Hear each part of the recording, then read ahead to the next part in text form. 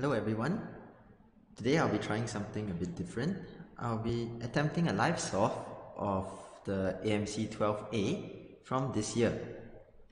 As you can see there's already a timer running um, and the little bit of extra time at the start is just for me to give you a brief introduction about the AMC in case you have not heard of it before or you are not too familiar with how the format is like. Now the American Math Contest, um, there are three categories of it, AMC 8, 10 and 12, meant for grade 8, 10 and 12 respectively. Um, it would vaguely be comparable to the junior, senior and open categories in Singapore, although the format is rather different. Now the AMC 8 is really different, so I'm not going to talk about it. Uh, the AMC 10 and 12 um, have 25 questions to be solved in 75 minutes. Um, and the interesting thing about it is that the format is 6 marks for a correct answer, 1.5 marks for a blank, and 0 marks if you get incorrect.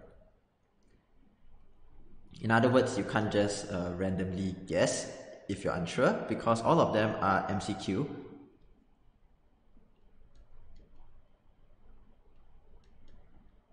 But if you were to guess randomly, you would get an expected value of 1.2 marks per question, whereas 1.5 marks is given for a blank. Now the AMC 10 and 12 um, lead to the AIME, which then leads to the USAMO, which is the most, uh, which is the highest level Olympiad in the USA. Alright, so in terms of what kind of score is good, um, I did a quick check for the 2021 uh, AMC 12A, which I'm doing. Uh, the AIME cutoff is 93. So uh, to get 93, you would need something like, uh, let's say if you have 13 correct and 12 blank, uh, that would be 78 for the correct answers and then 18 for the blank. So you'll get 96 so if you did 13 correct and you were really sure and you left everything blank uh, that would have been enough for you to get into the AIME um, I should also emphasize that this is not known beforehand. Uh, so you don't know what's the cutoff. Uh, they only tell you beforehand that it is either 100 or the top 5% Usually it ends up being a bit lower than 100 um, and depending on the paper it would be something like 80 something or 90 something. One more thing to say is that there is also the 12A and 12B as well as the 10A and 10B. These are the same difficulty just different dates.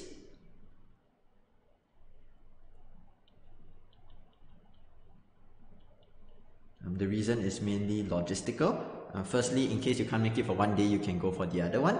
And secondly, the AMC 10 is also held over two days. So some students might want to take the AMC 10A and 12B or the 12A and 10B. And so you can take both by them uh, organizing it on two different days. Okay, so I see I have about uh, 20 seconds left till the 75 minute mark. Now this is a live solve, meaning that uh, I haven't tried the problems in advance, uh, but admittedly I have copied the questions over, which means I may have taken a quick glance at them along the way, but I have tried my best not to think about it too much in advance. So we'll see whether I can complete it in the time, and here we go. Question 1. Uh, what is the value of this expression? Well, we can just calculate it directly. So 2 to the power of 6 is 64. Uh, 2 plus 4 plus 8 is 14 and so 64 minus 14 is 50. I'm not going to explain too much, I'm just going to talk out my thoughts out loud. Question 2. Under what conditions is square root a squared plus b squared equals to a plus b true? And let's square both sides.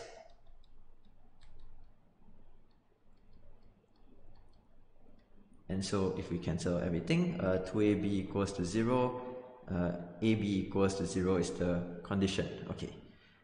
Now, AB equals to 0 is a sufficient condition, but not necessarily enough because uh, this means that A equals to 0 or B equals to 0.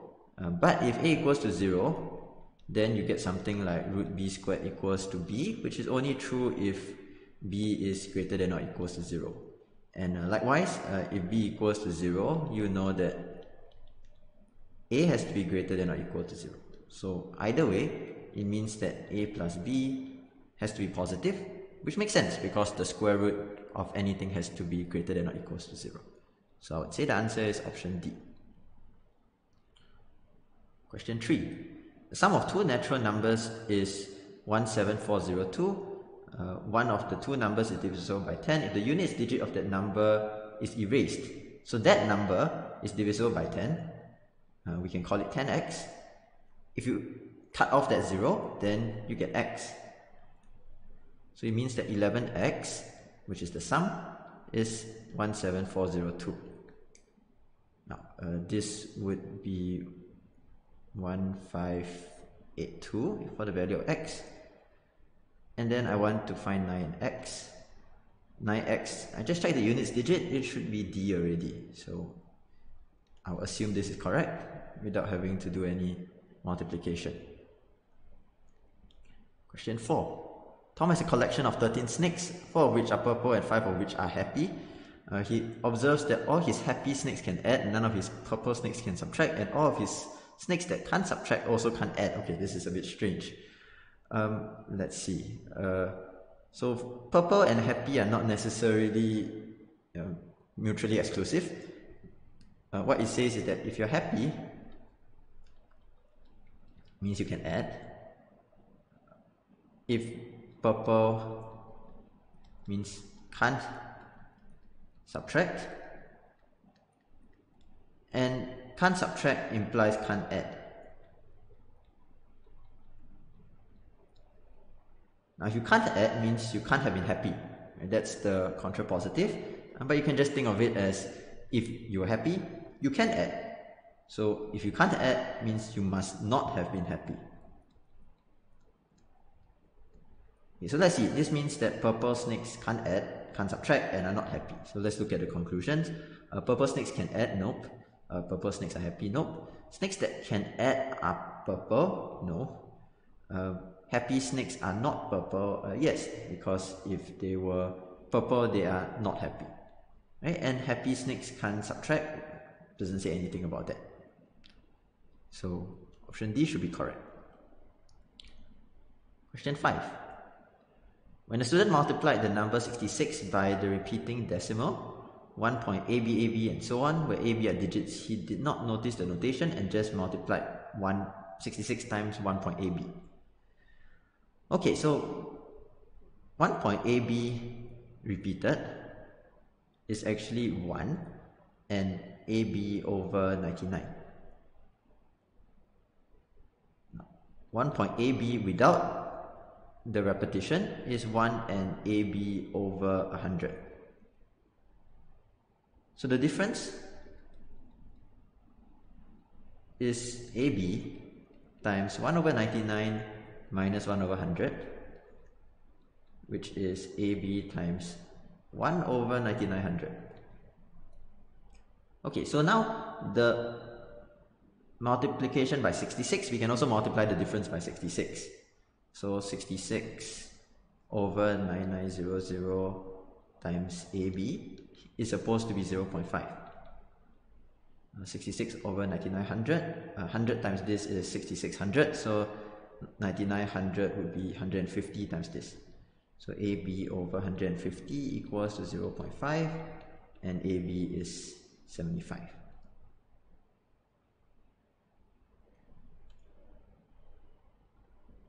Question 6.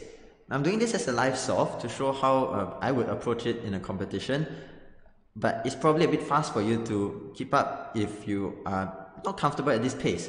So please feel free to stop the video, pause a while and uh, catch your breath, um, and comment below if you have any questions um, after seeing all of this. Okay, question 6. A deck of cards has only red and black cards. The probability of a randomly chosen card being red is one third. So which means that you have one third red and two thirds will be black. Now you plus four black, it means that now you have uh, one quarter red and 3 quarter black. Okay, so um, I guess I can let the number of uh, red cards be x uh, and this was 2x. Now here the number of red is still x but the number of black has become 3x. So that means x equals to 4 and the original 3x equals to 12.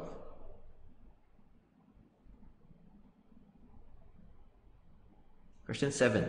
What's the least possible value of xy minus 1 squared plus x plus y squared? Okay, so this is a bit more interesting.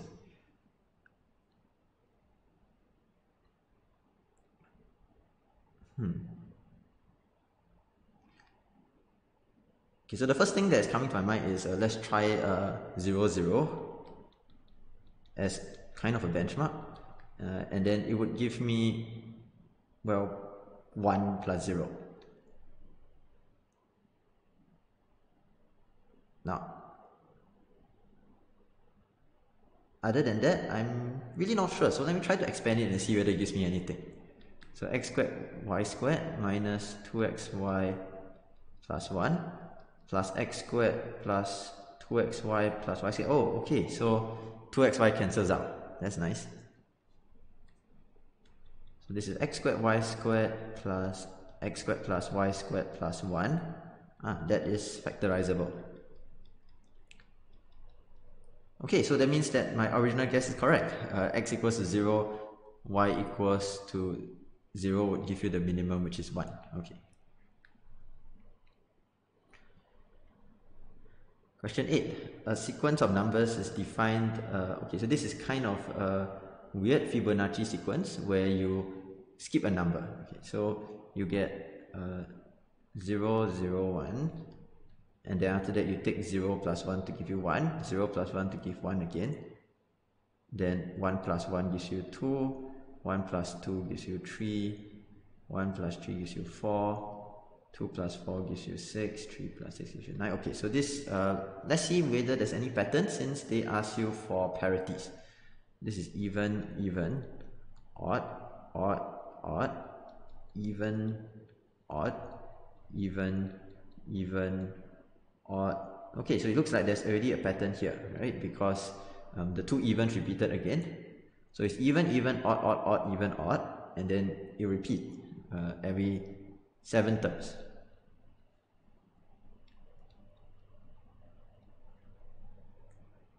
Okay, let me just check my addition again. Uh, this is, alright, it seems fine.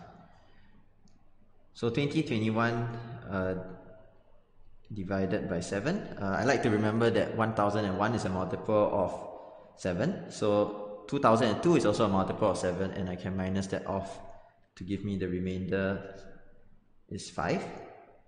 And so the remainder is 5. This is 0, 1, 2, 3, 4, uh, 5, 6, and 7. So these are the three that would correspond to the remainders 5, 6, and 7. And that is option C.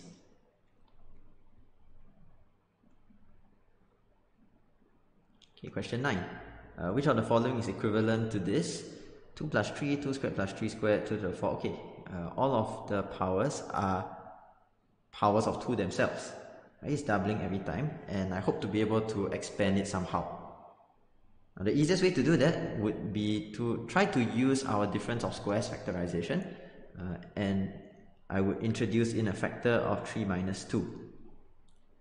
Uh, the factor of 3 minus 2 is harmless because there's actually 1 uh, but it means that this two can be combined into 3 squared minus 2 squared uh, and then these two can be combined to 3 to the 4 minus 2 to the 4 uh, you can combine this uh, and so on. So you will just keep combining all the way until 3 to the 128 minus 2 to the 128 uh, which is option C which I have accidentally written over. Okay good. So we are making good time Question 10. Two right circular cones with vertices facing down as shown in the figure below contain the same amount of liquid. Okay. Um, the radius of the tops of the liquid surfaces are 3 cm and 6 cm. Into each cone is dropped a spherical marble of radius 1.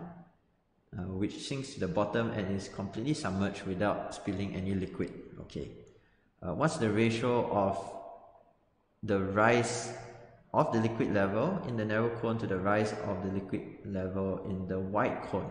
Okay, this is interesting. So we have to use the same amount of liquid and we also have to use the fact that um, there are spherical marbles which I think it's not so important to find all the areas especially at question 10 um, all the volumes I should say are probably too tedious um, we should say that this is the same uh, volume before and after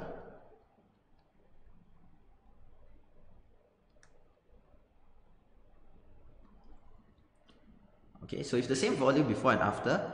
Uh, I want to know how does the height compare before and the height compare after.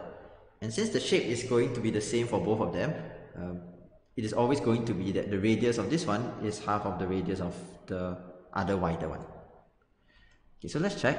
Uh, if let's say for this one, uh, I call the original height h1 uh, and the original height h2 so we know that the volume is one third pi r squared h. So this is 3 pi h1 and this is 6 squared times h2 is 12 pi times h2. Okay, so that means that these two are equal. So h1 equals to 4 times of h2.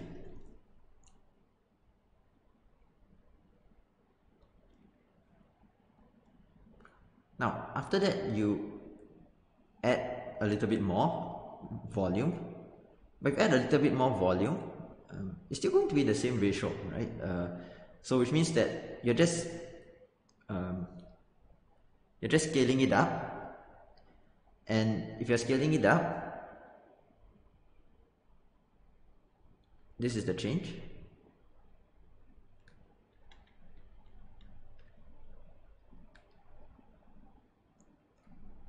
The new heights should also be in the same ratio as the old heights because the radii are also going to be in the same ratio.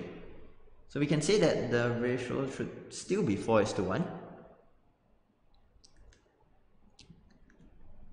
At least that's the intuition which I have and I hope it's correct. We'll check the answers later at the end and if I did anything silly, we will think through why is it I did it wrongly, perhaps in too much of a hurry. But we'll move on first. Uh, question 11. A laser is placed at the point 35. So there's a point here. Uh, Larry wants the beam to hit and bounce off the y-axis and then hit and bounce off the x-axis and then hit the point 75. Okay, uh, so somewhere here. Um, I think I should move things a little bit up. So uh, because I have a sense that we are going to be moving things around quite a bit. So it's going to bounce off uh, I guess something like this then this and then this. So you want. And all the angles are going to be equal. And 3, 5 and 7, 5 have the same height, same y coordinate, so I will just draw that in as well. Okay, so this, uh, this length is 4, uh, this length is 3, and this length is 5. Okay. Now, let me see. Uh, we are supposed to find the total distance that the beam will travel along this path uh, so one way we can do it is to reflect the points over to make them more straight lines. Right, so 3, 5, I first reflect it over to be minus 3, 5. And this will still be a straight line, even though my drawing is pretty lousy. Um, and then after that, um, this can be reflected over. And uh, I guess I have no space. I'm just going to pretend that this is the reflection over to minus 3 minus 5. Okay, so if this is minus 3 minus 5, then what's the total distance traveled? Um, actually, you realize that this distance is also equal to this, and then this is 2 times of that. So I've not changed the distance. If I just find the straight line,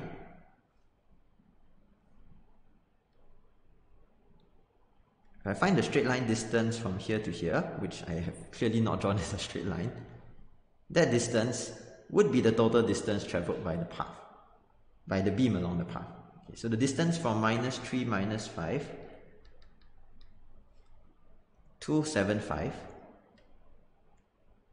um, is square root of 10 squared plus 10 squared. Oh, there is 10 square root 2, which is option C.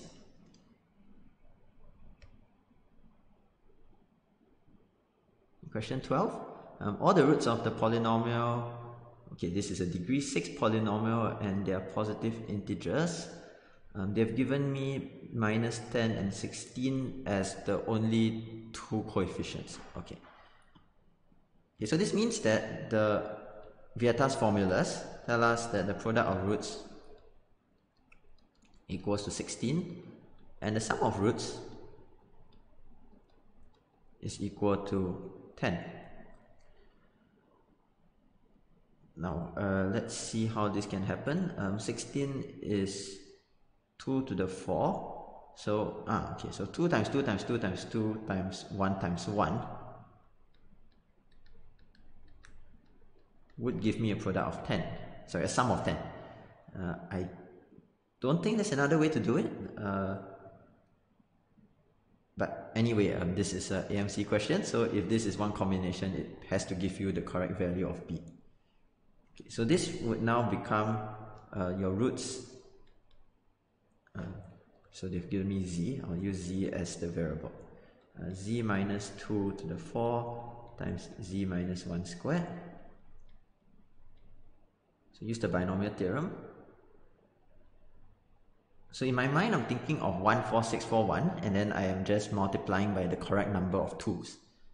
Okay, so the next one is 6 times 2 squared then after that 4 times 2 cubed. And then 1 times 2 to the 4. Uh, this is z squared minus 2z plus 1. Uh, how do we get z cubed? Uh, you have got three combinations that do that for you. Okay, so minus 8 minus 48 minus 32 uh, is minus 88.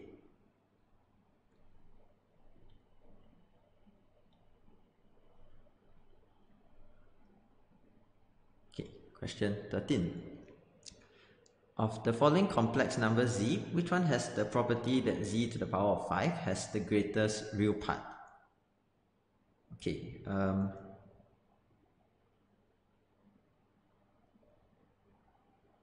ah, okay. So I'm seeing that uh, all of these have have modulus or magnitude 2 if we realize that right? because root 3 and 1 you sum the squares is 4 then you square root 4 is 2 um, square root 2 and square root 2 um, you square both of them you get 2 plus 2 is 4 you square root that's 2 so all of them have the same length 2 and what we want is the so we want the argument which is closest to 0 so on your Argand diagram You want something that's pointing here. Uh, you do not want something that's pointing here, here, or here. Right, and all of these have pretty nice uh, values, such I think we can find the argument. Um, I'm going to use degrees here. I think it's easier for some of us to think in degrees, but if you prefer radians, go ahead. So minus 2 uh, is 180 degrees, so it's pointing to the left. Uh, i minus square root 3. Okay, so minus square root 3 plus i would be somewhere here. Uh, square root 3 and 1. So this would be 30 degrees. So the argument is 150 degrees. Okay. Then the next one Um, square root 2 minus square root 2, that is somewhere here. So this is 135 degrees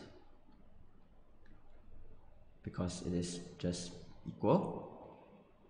Uh, the next one, minus 1 and square root 3i.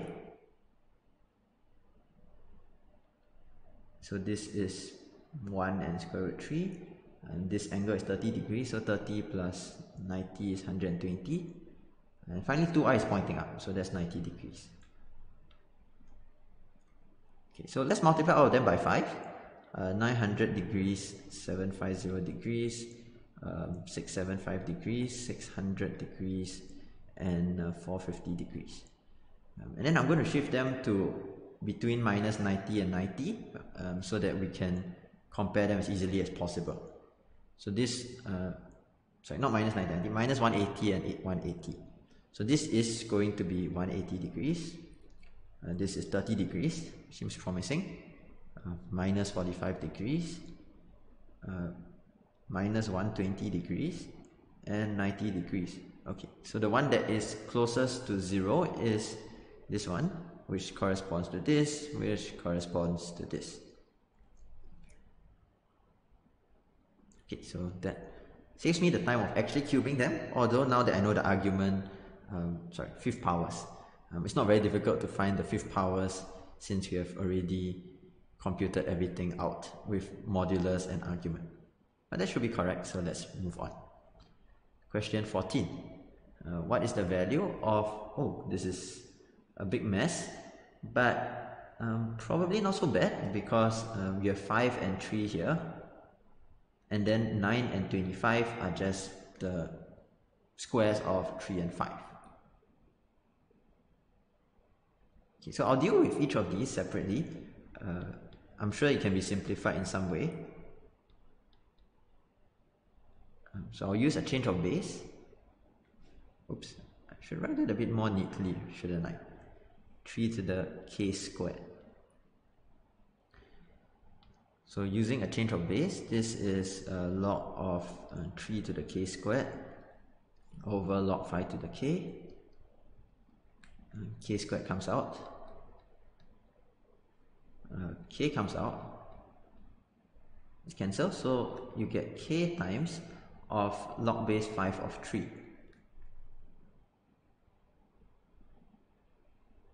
Okay, so now I can do the other one. Uh, log 9 to the k of 25 to the k.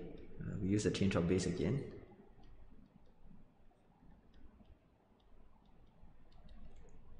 Again, I see the factor of k coming out. But 25 and 9 are 5 squared and 3 squared. So this is log base 3 of 5. Okay, so now that we have found this, uh, that's great. Uh, it's pretty easy to add them up. The first one is going to be the sum of k times of log base 5 of 3. So you sum from 1 to 20 log 5 3. The other one, uh, they're all the same. So it's just 100 times of log 3 5. Okay, the sum from 1 to 20 is 20 times 21 over 2 which is equal to 210. So it's 210 times 100 and then log 5 3 and log 3 5 are just reciprocals because uh, we can use a change of base. That means you're left with 210 times 100 which is 21,000.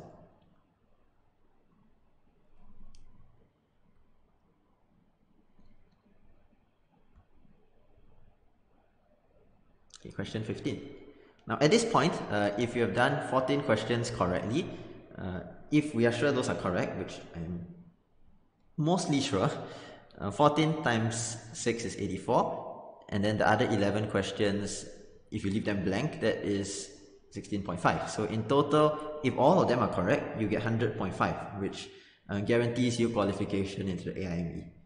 And I guess we are making good time. Uh, we've taken less than 30 minutes for that. Um, this is not especially fast uh, if we are talking about uh, some of the students who are trying to get a perfect score or near perfect score for the AMCs because the ones behind, as we will see, take exponentially more time than the ones in front. So you almost have to blast through the first half if you want to get a really high score. But if you're trying to just get a qualification mark, you can afford to do it at a far slower pace than what I've done here. So maybe if I do the AMC 12B uh, in the next video, uh, I might do it at a so-called uh, teaching pace instead of at a solving pace, which is what I'm doing now. Anyway, let's continue. Question 15. A choir director must select a group of singers from among his six tenors and eight basses. The only requirements are that the difference between the number of tenors and basses must be a multiple of 4 and the group must have at least one singer. So the difference must be a multiple of 4. Uh, I don't see much other option than just uh, listing them, right? So you have got Okay, I guess we can uh, save a bit of time uh, by just grouping them into uh, 0, 1, 2 and 3 mod 4. So 0 and 4, 1 and 5, 2 and 6 and 3. Uh, and then for this one, uh, you can have 0, 4 and 8, uh, 1 and 5, 2 and 6, 3 and 7. Okay, so if I want to pick from the first category, I have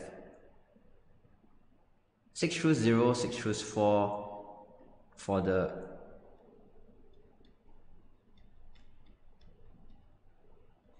zero mod 4 from the tenors and then 8 choose 0 plus 8 choose 4 plus 8 choose 8 from the basses and I think I've no reason not to calculate this because three of these five are 1. So this is 1 plus, uh, 15. This is 1 plus, uh, what's this? 70 plus 1. So 16 times 72.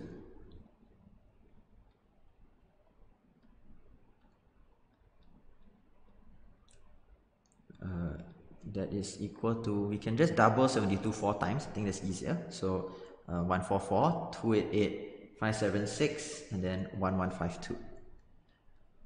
Um, actually, we only need the 52 at the back since it's divided by 100, but never mind since I've already calculated it. Okay, so we can continue with the others as well. Uh, 6 choose 1 and 6 choose 5. And then uh, 8 choose 1 and 8 choose 5. Uh, this is 6 and 6. Uh, this is 8 and uh, 8 choose 5 is 8 choose 3 that's 8 times 7 times 6 over 3 factorial. So 8 times 7 is 56 okay so this is 12 times 64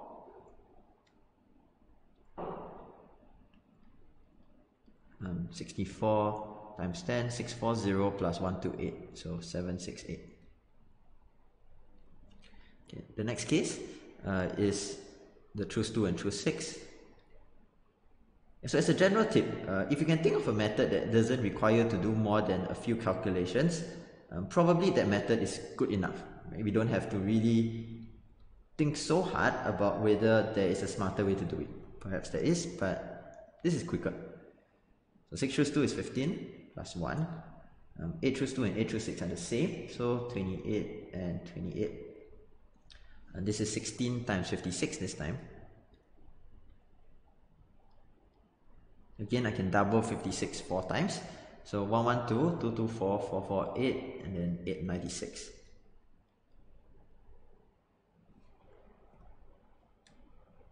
The last one, uh, 6 choose 3 times uh, 8 choose 3 plus 8 choose 7. Uh, 6 choose 3, uh, 20. 8 choose 3 is the same as 8 choose 5, we already calculated that. So it's 20 times 64 this time.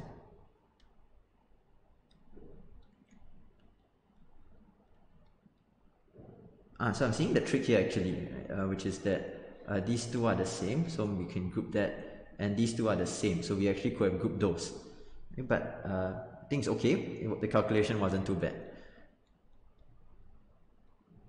Okay, so now we just need to add the last two digits, 52 plus 68, 120, uh, that's 20.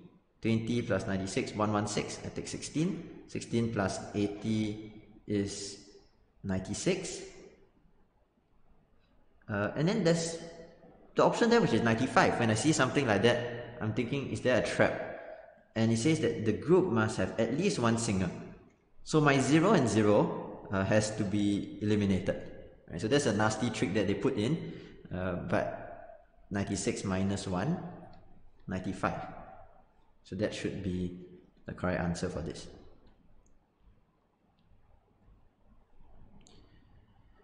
Okay, question 16.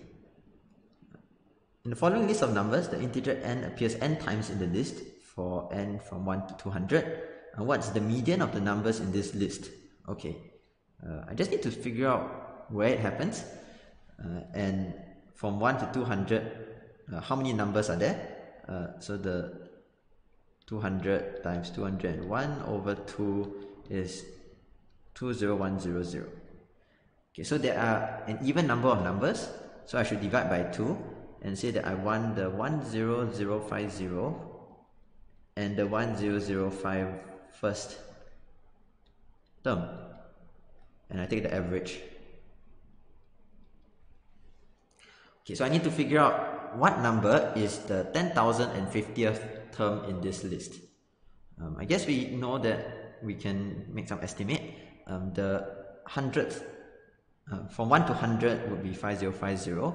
So I want something where the number times itself plus 1 over 2 is around 10,000 means the number squared is around 20,000 so uh, 140 seems like a decent place to start so if I do 240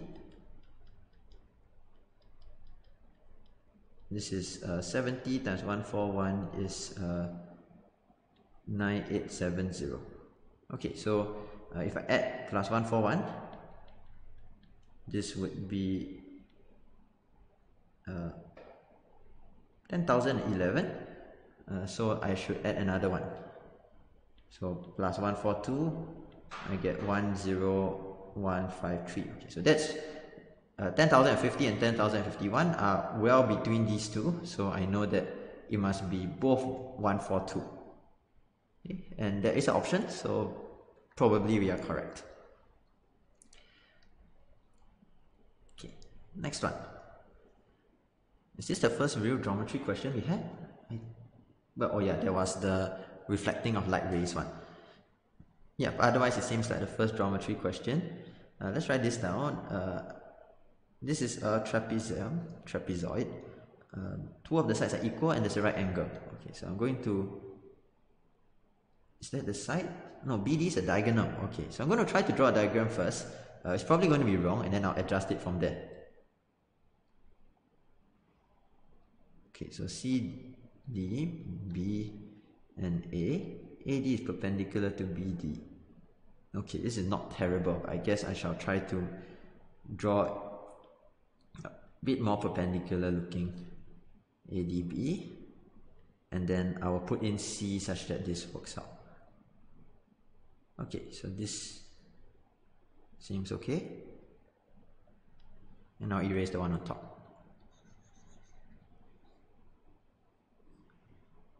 Let O be the intersection of diagonals. Okay, let's draw in the diagonal.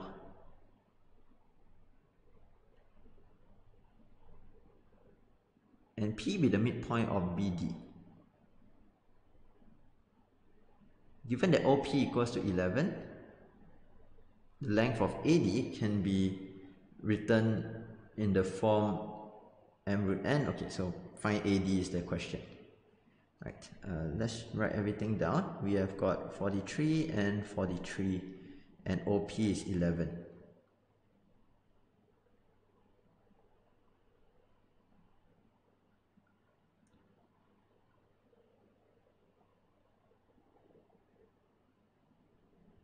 So I guess I see an isosceles triangle and then I see a midpoint uh, P and I see another right angle. So what I want to do is I'm going to draw in the perpendicular from C to P.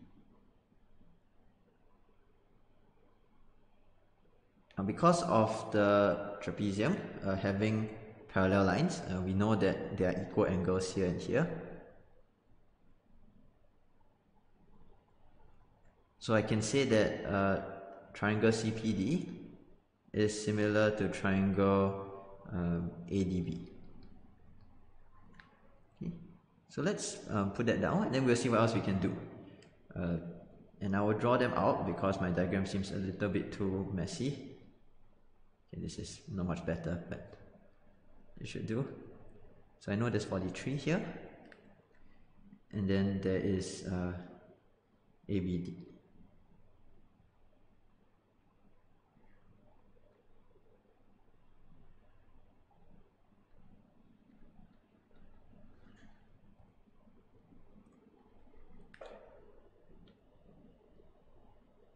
P is the midpoint also, which means that PD is half of dB. So the ratio is 1 is to 2. Uh, that means that this is going to be 86. And if that's 86, it means that I have the other pair of similar triangles, triangle COD and triangle mm, AOB and they're in the ratio 1 is to 2 meaning that DO to OB is 1 is to 2 so I label this as uh, x and the whole thing is 2x uh, means that DO to OB uh, would be 2 third x.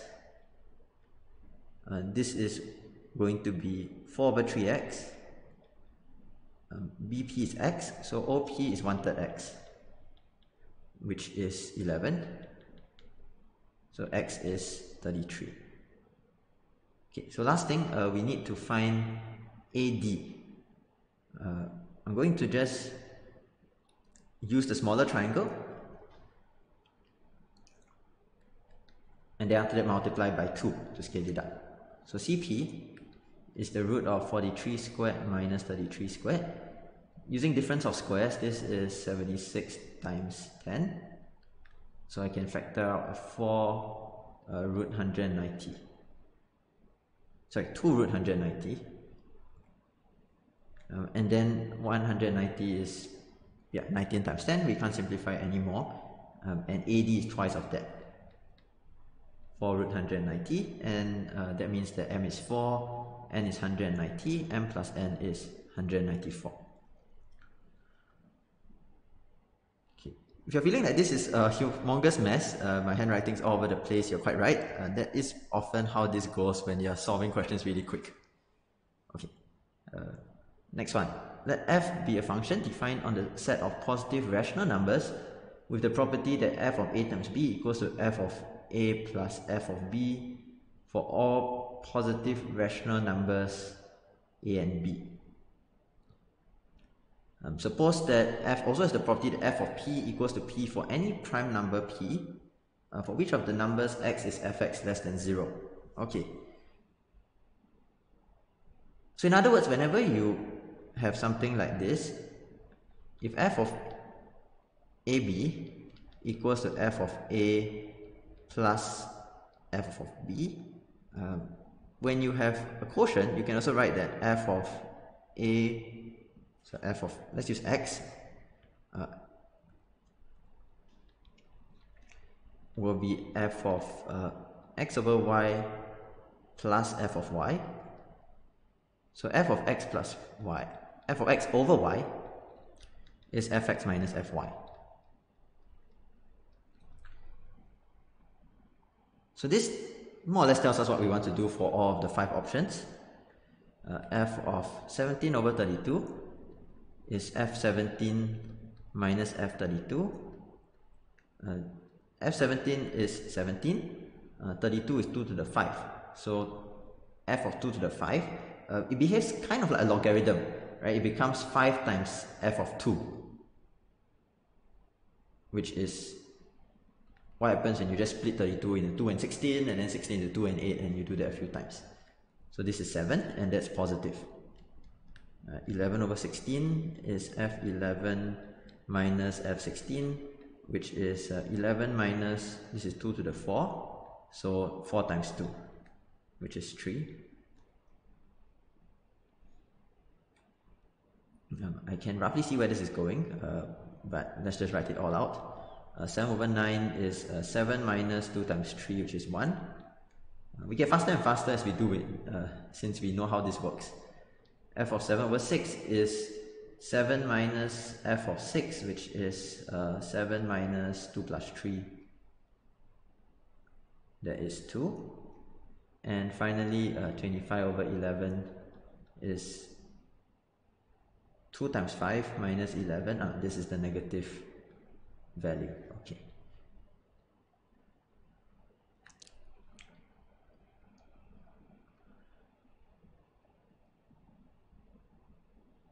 Alright, so we can continue. Uh, question 19. Uh, how many solutions does this have in the closed interval 0 to pi? Okay. Uh, this one is not so obvious. So we know that the thing inside um, is between minus pi over 2 and pi over 2. And same for this.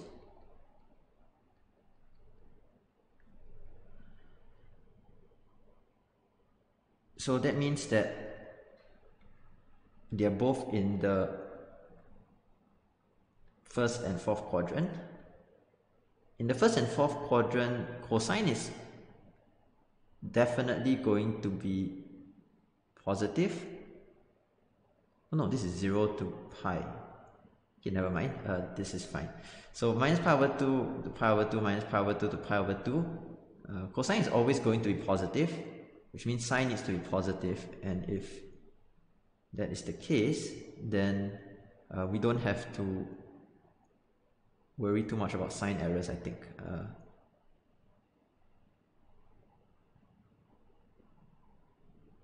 that right? Uh, okay, so I should write this out a bit more properly. From 0 to pi, uh, so cos x um, is going to go from 1 to negative 1, and sine x is just 0 to 1. So that means that this sine of negative pi over 2 to pi over 2, um, but cosine is going to only be of 0 to pi over 2. Okay. So this one will be positive, uh, means that I need this to be positive. So I have to make sure that my cosine is also positive. So must have cosine x from 0 to 1 first. And if cosine x is from 0 to 1, it means that we are only looking at actually the first quadrant. So x can only be from 0 to pi over 2. Okay, so now that uh, x is from 0 to pi over 2, uh, it means that sine of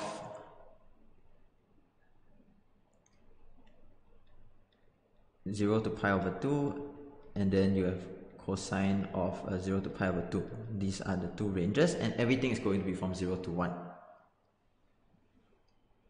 Now this is not actually being written in the correct direction because uh, for let's say uh, as x from 0 to pi over 2 then we know that pi over 2 cosine x will be decreasing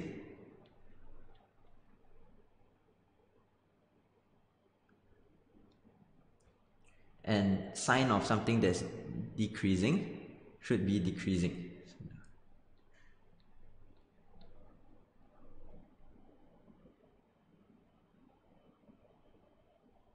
Now, uh, cosine of pi over 2 sine x, uh, pi over 2 sine x is going to be increasing.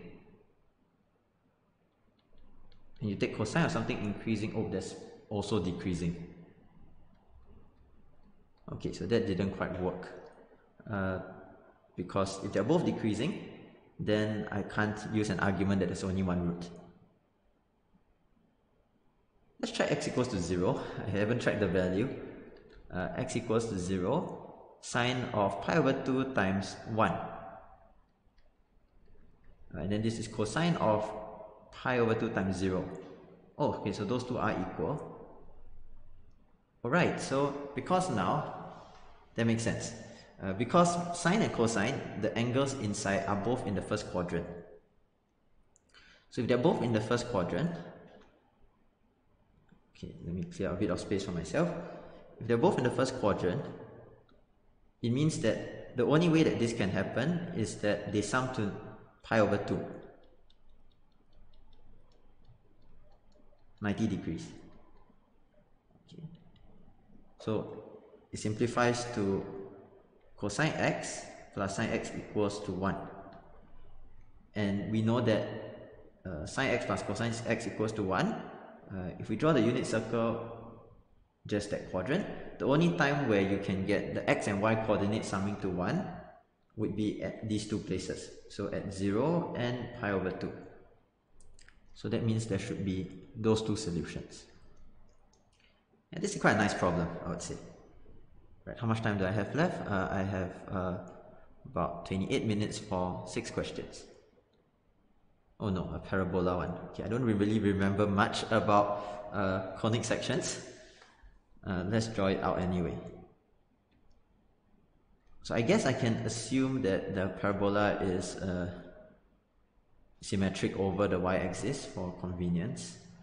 Uh, so V is the vertex, uh, there's a focus here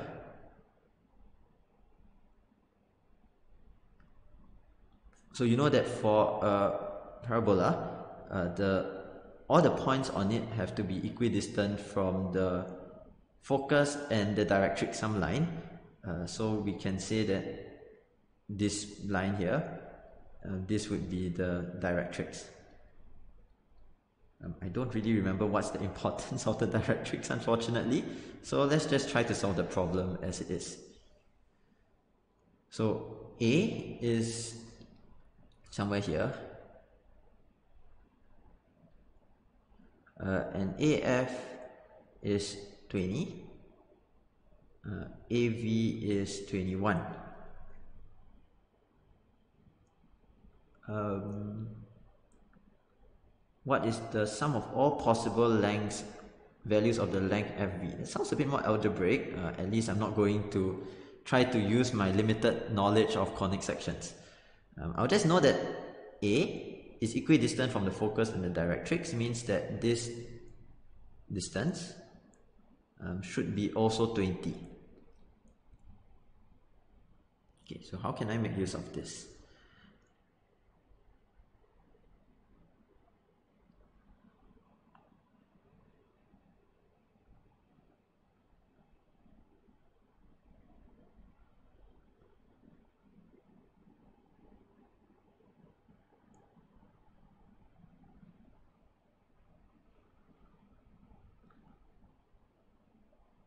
Okay, so what I'm thinking of is uh, I have to do this algebraically. So uh, let's just assume that this is positioned such that it is symmetric around the y-axis. Um, so the equation can be something like y equals to uh, ax squared plus b. And this point would be 0b. Uh, the focus would be at 0, 2b.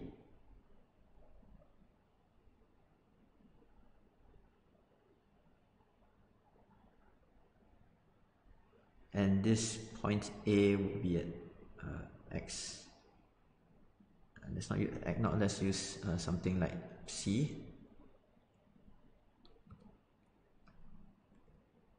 Okay, um, actually no, uh, I know that the coordinate is uh, 20, so uh, I'll just call it C uh, 20. and then since it's on this curve, AC squared plus B equals to 20 means that C equals to 20 minus b over a square rooted plus or minus. Okay, uh, I guess the plus or minus doesn't matter too much because this is uh, symmetric. So I'm just going to um, assume that it's the positive square root. I actually like the negative one though. Uh, so maybe I should use the negative square root. Okay, so I've not used the 20 or 21 anywhere here So I guess I can form two equations and let's hope it's not too bad, shall we? So the distance from C20 to 0b, so c squared plus uh, root uh, 20 minus b, sorry, plus 20 minus b squared equals to 21 squared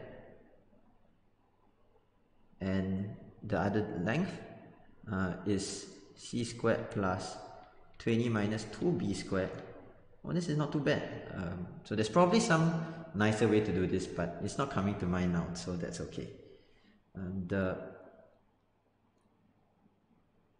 two equations uh, I already think I can just subtract them because the only thing I care about is fv and fv is equal to b. So I can subtract and I get the difference of these two squares which is the sum times the difference is equal to 21 squared minus 20 squared which is 41 okay so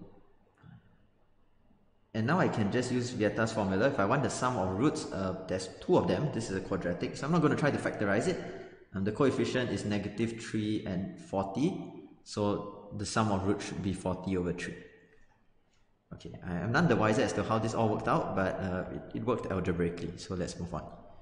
Uh, 21 oh no another conic one. Uh, the five solutions uh, to this equation can be written in this form and then let epsilon be the unique ellipse that passes through these five points, the eccentricity of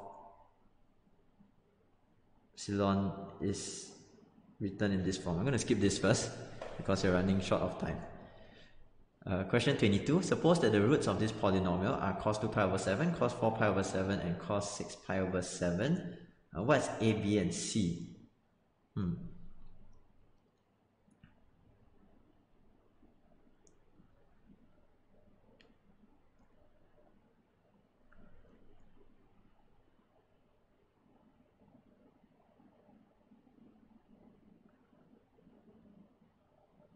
So I guess I'm going to just try to calculate each of them. Uh, there's most likely some clever way to do this using roots of unity, but I am not too sure. So I'm just going to write all these three down and we'll see if um, anything pops out.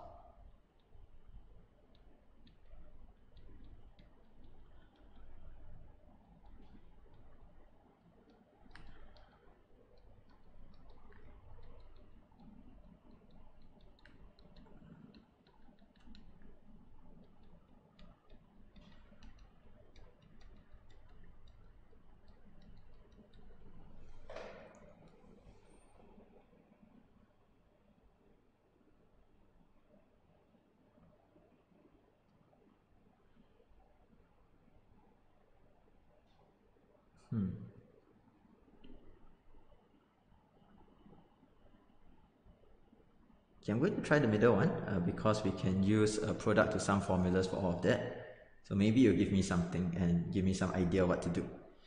So this will be half of cosine of the sum plus cosine of the difference. Uh, all of them have a difference that is quite related. So it is going to be so this is 2 pi over 7 plus cosine um, 6 pi over 7 this one is cosine 8 pi over 7 plus cosine 4 pi over 7 and the third one is cosine um, 2 pi over 7 plus cosine 10 pi over 7 Okay, but uh, 6 pi over 7 and 8 pi over 7, um, those are equal. Uh, cosine 4 pi over 7 and cosine 10 pi over 7, those are so equal. So this is actually the same as the first one.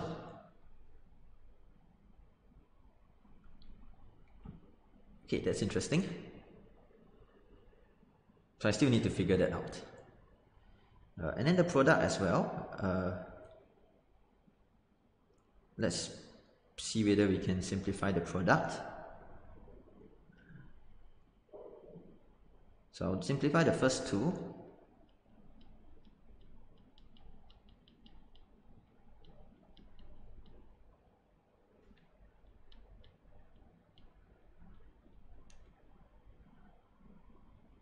Um, and then I will combine the first two again.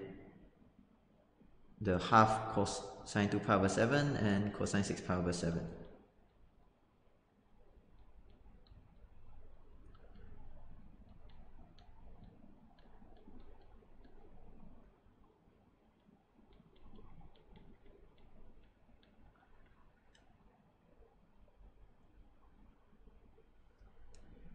Okay, uh, I am running out of space, so I think I should just erase off some of these uh, and just write it down in terms of Vieta's. So this product was a negative C. Uh, this one here is a negative A. And then this whole thing here is B.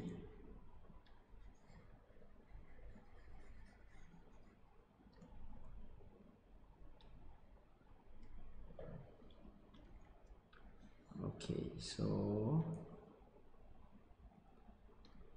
shall continue with this. Uh, I am not sure whether this is going to simplify, um, but I want to try to rewrite this using the double angle formula and see what it gives me.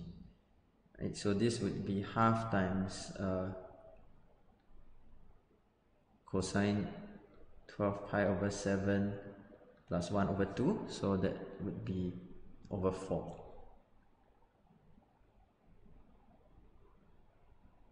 Okay, so this becomes, oh that's interesting. I'll just replace this here. Because this is interesting because 8 pi over 7 is the same as 6 pi over 7 and 12 pi over 7 is the same as 2 pi over 7. So this is actually just 1 quarter from here plus 1 quarter of this as well.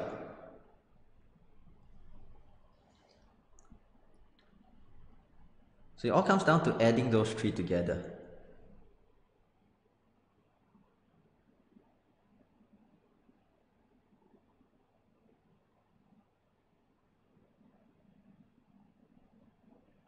Ah, I think I got it. So cosine 2 pi over 7, cosine 4 pi over 7, cosine 6 pi over 7, I think we do have to use our roots of unity after all. So my drawing is fairly horrendous. But uh, what I'm trying to say is that these are the three that are going up. So we know that if we add these together,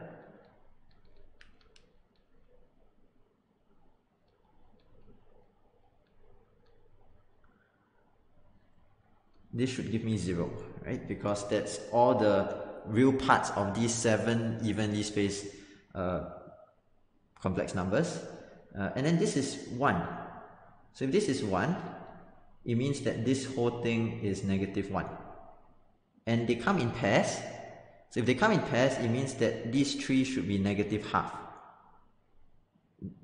Okay, so that means that A is 1 half, uh, this is negative half. So A is 1 half, B is just going to be the same as that. So b is also equals to negative half.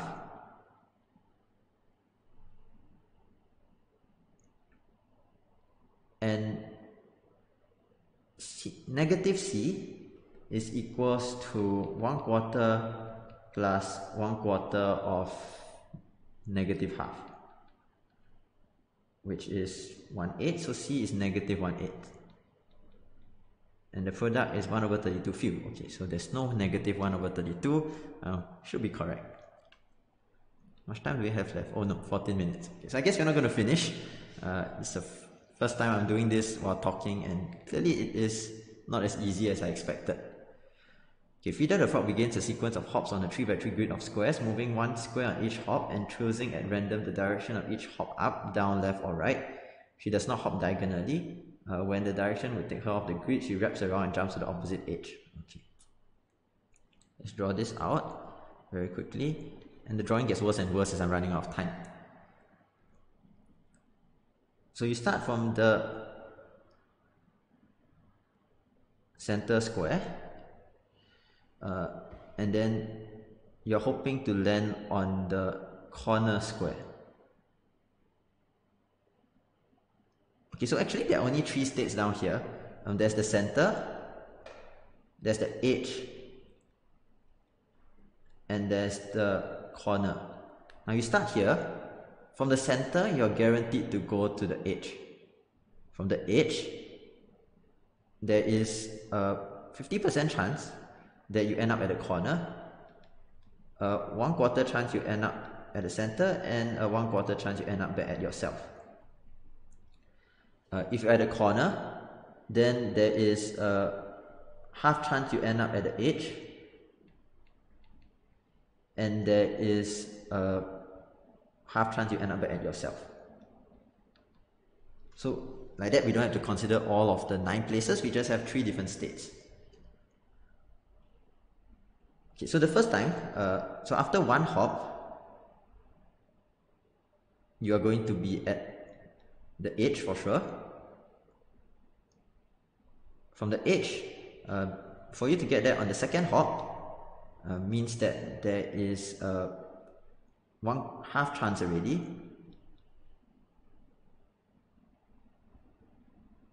for you to end up there on the third hop means that you didn't end up at the corner, you ended up back at the edge.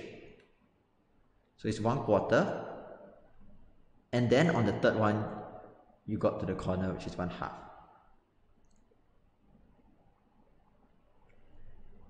Okay, so this means that uh, you ended up first at the corner, so you first end up first at back at the edge and then the corner. The fourth one, uh, you can end up at the edge, at the edge then the corner. You can end up first at the edge and then after that to the center. But if you end up at the center on the Okay, wait, uh, I think I'm messing things up. Okay, so let's write this a bit properly. You start, the first turn is the edge, and then after that, corner. So I'll put this, the corner as a tick. So this would be edge, edge, and then tick.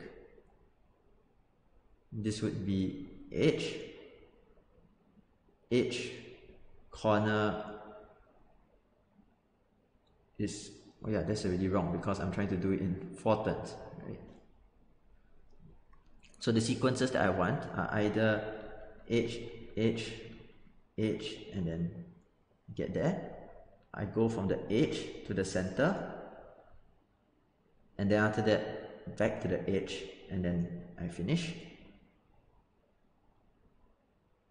And that's really all, right? So edge, edge, edge, it would be one quarter, one quarter, and then one half. The edge, center, and edge, um, the edge is guaranteed, and then one quarter to get the center, one to get back to the edge, and then uh, half to get to the corner. Okay, so it's half. This is one eighth. This is um, 1 over 32 plus 1 eighth is 5 over 32 uh, and this plus this plus this is 25 over 32 which I am uh, probably only 70% sure I've done it correctly but that's okay right 9 minutes. Let's try to do at least one or two more. Uh, question 24 a semicircle gamma has a diameter of length 14 we drew a full circle. When they draw a full circle. Semicircle.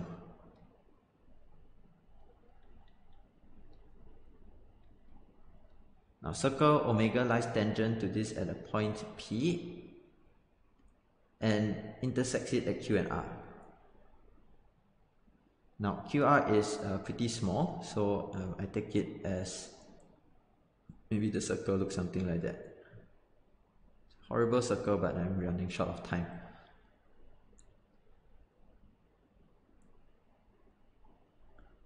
Now it says that QPR is 60 degrees, um, that at least looks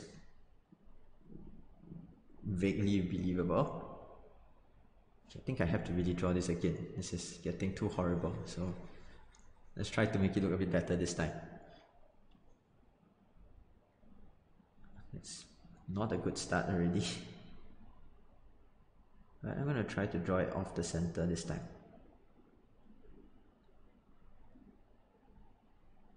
Now that does not at all look like 60 degrees. Uh,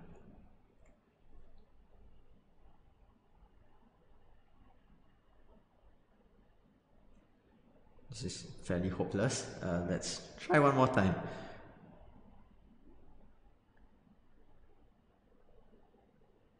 Or whatever. Uh, see what the question says first before I try again because this is uh, fairly embarrassing.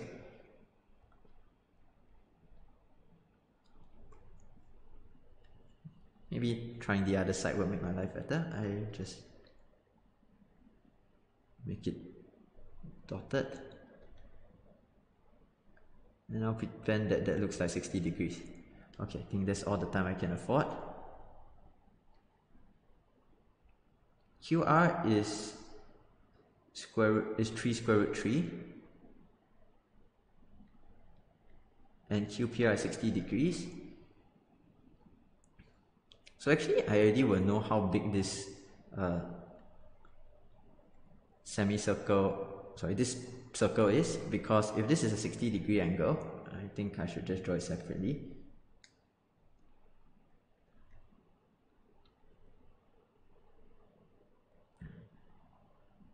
So if this is a 60 degree angle, it means that the angle to the center is 120 degrees uh, and if this length is 3 root 3, then we know that the ratio in a 120, 30, 30 triangle is 1, 1 root 3. So this just has a radius of 3. Now the problem is what am I supposed to do with the tangent?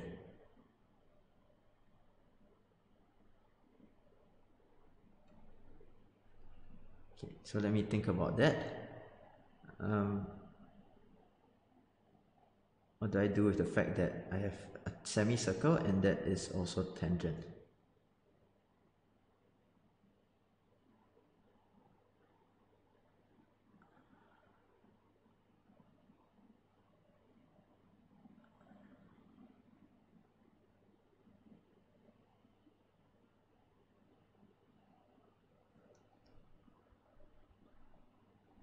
Six minutes. Okay, that is not good.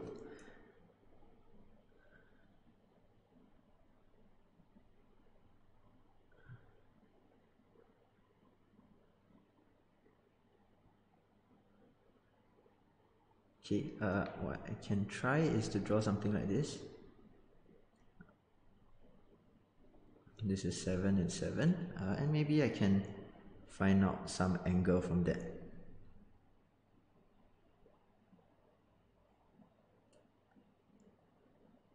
What would the point of that be?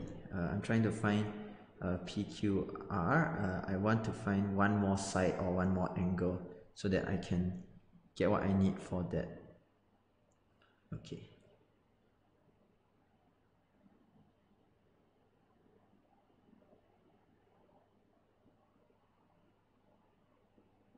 Let me take a look at the last question. So this is counting the number of positive integers that divide n, including itself. So this is just counting divisors, and then a function is the thing divided by cube root of n, uh, there's a unique integer. So you want to find the largest possible value of this fn and they're asking you where it happens. Okay, let me think. Now we know that the number of uh, positive integers to divide something uh, is basically going to be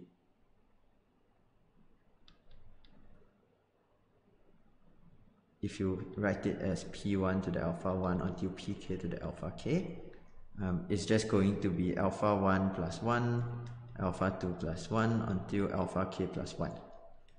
So I'm going to think of it as every time when I introduce an extra prime factor in, I'm introducing a multiplier on this. So let's see how it will affect it. So we start with 1.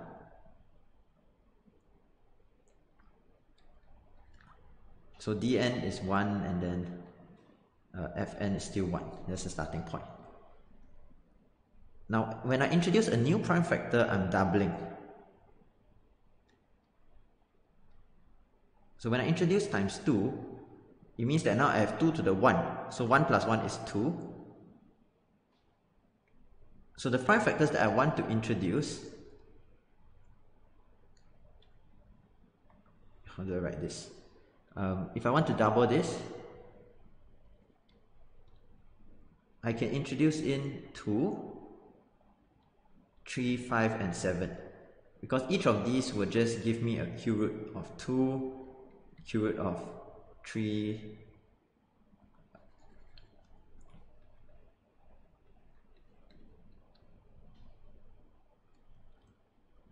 and uh, cube root of 5, cube root of 7, all of these are less than 2. So this is something I want to add on. And then now if I want to see, are there any other prime factors that I want to multiply in again? Uh, if I multiply anything, it is times 3 over 2.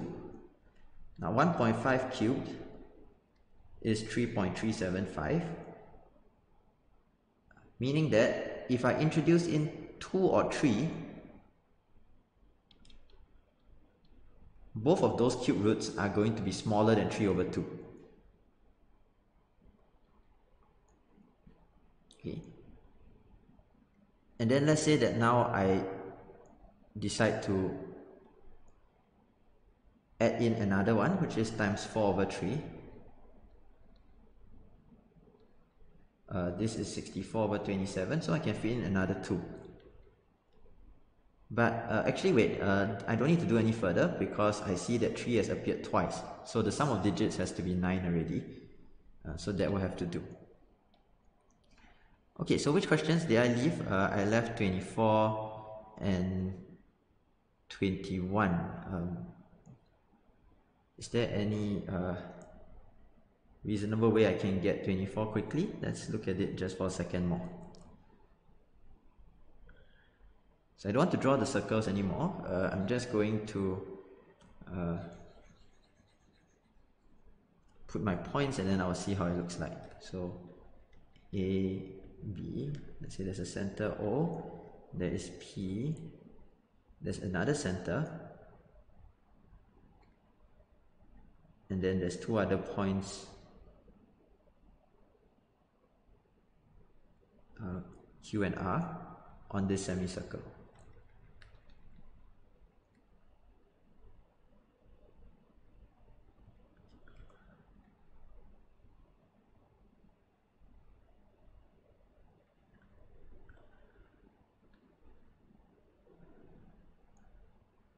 This is 3 3 and 3 and then the distance here is 7 the distance from O to this are all 7 okay so is there anything I can do very quickly?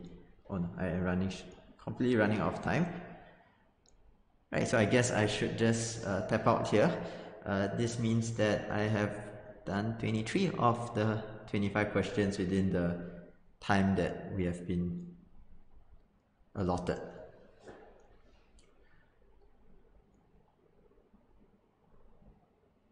Okay, so that's decent uh, for a first attempt. Now let me check my answers for those that I did uh, and uh, I guess what I can do is to upload a second video after this to um, slowly explain a few of the more interesting questions um, since we have just blasted through this like a freight train. Okay, so let's check the answers. Uh, the first five are B, D, D, D, E.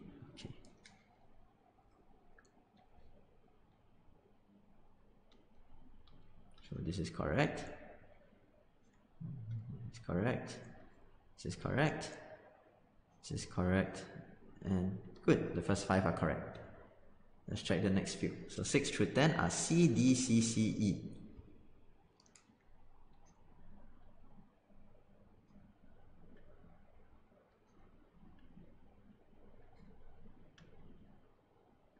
Good, so, so far so good.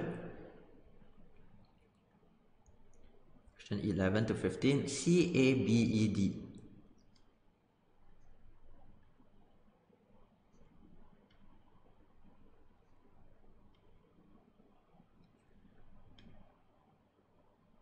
Good, still okay. It looks like my calculation hasn't failed me for those big masses. Next five, C, D, E, C, B. C, D, E, C, and B. Oh, okay, so that was indeed fine. Now, the last five, A, D, D, D, E. Um, I left this blank and I, in fact, I forgot to even snip the options. Oh well. So this is D, D, left that blank, and E. Good. So uh, it looks like all the questions which I attempted were actually correct. Uh, and the only ones that uh, I didn't complete uh, were 21, which I skipped because I've forgotten too much about uh, conic sections, and 24 because uh, my mind did not find anything interesting about this within a couple of minutes. Okay, so just uh, to say a few things, right? If you are still watching this here, uh, thank you very much for listening to my stream of consciousness. I wanted to give you a sense of the chaos and the hectic nature of solving. And because for a lot of the other um, videos that I've shot and lots of other videos uh, anywhere, um, there's a nice script in front of us. Uh, we have worked out all the questions in advance. Uh, for the SMO videos, the live stream that I did, uh, I hadn't written out the videos, but I made sure I knew how to solve the questions before the live stream. Now, in this case, I did not really look at the questions apart from copying them in here, which means that there was a risk of embarrassment, and uh, I'm pleasantly surprised that it's been limited to just leaving two questions blank. So, see that this is a really hectic task and it is very different in character from something like the proving based problems that we look at in some of our other videos and that you might do at a higher level or in different contests, whether it be the second round of the SMO, whether it be the USAMO or USAJMO or other proving based competitions around the world. So you need to almost be able to switch your mode to whichever kind of time control you're working under. If you're working under these kinds of constraints, uh, you have to just abandon any pretense of writing neatly. Um, I'm really being a bit neater than I would be in a contest. Uh, now I'm trying to make sure that the video isn't completely pointless. If it was just a smattering of working everywhere, that would be even worse. So I'll follow up with another video um, to hopefully go through a few of the interesting problems more carefully. Um, if I were to just look at the last 10 questions, right? Uh, 16 is okay, um, 17 should be fine, and 18. Um, so I think I will try to explain 19, and uh, 19 is fine. Uh, 21 I did not do at all, so I definitely need to uh, remind myself to do that. Uh, 22 also I'll try to write it out a bit more neatly because that was a humongous mess. Uh, 23 as well because the idea is simple but I don't think the cases made a lot of sense when doing it live. Uh, 24 because I haven't actually completed it yet and I guess um, the last one as well because uh, this looks like uh, the ramblings of a madman. Right, so that means that uh, question 19 and 21 to 25, uh, I'll follow up with another video to explain a bit more carefully. Uh, if you have any questions about um, those in front, uh, which I just uh, zoomed through as quickly as possible, please feel free to leave it in the comments below. And if you think there was a better method for some of these or you have any other suggestions, uh, please feedback as well. Now, finally, if you are still here, um, that's really great. Thank you. And uh, please subscribe to this channel if you haven't already. Uh, leave a comment and uh, yeah, I hope that this was interesting in some way. So thank you very much. Uh, we'll be back to uh, some other of our usual programming on problem solving once I've finished preparing the video for that. So thank you and see you again next time.